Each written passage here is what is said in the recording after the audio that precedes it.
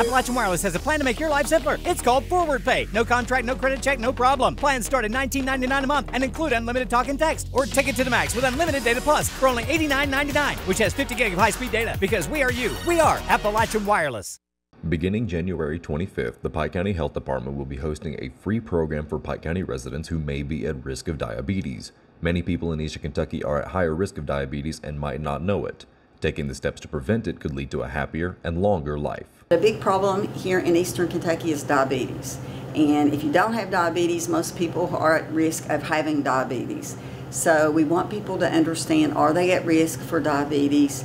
And if they are, we have a free program for all the Pike County residents, and it is a CDC approved curriculum, and we are recognized as a provider for that curriculum and it's called the Diabetes Prevention Program, or for short, DPP. Um, it's a wonderful program, again, free of charge to Pike County residents. It's a group session style program. We meet weekly, but there's some flexibility in those meetings.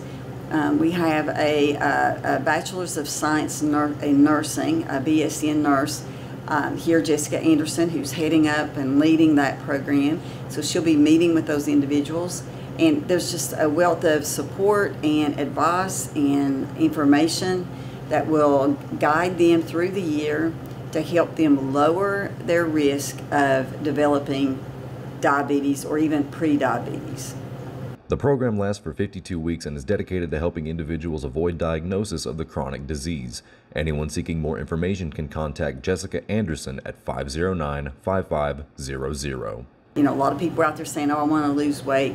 If you're overweight, you're at risk. So we know that that's one of the major risk factors. And part of this program, the goal is to uh, lower your uh, body weight by 7%. So there's a 7% weight reduction as part of the goals that they work towards throughout a full 52 week cycle. They'll be starting on January 25th. And we highly encourage individuals to call 509 5500 and talk to Jessica about the DPP Diabetes Prevention Program. Reporting for Mountaintop News, I'm Nick Collum.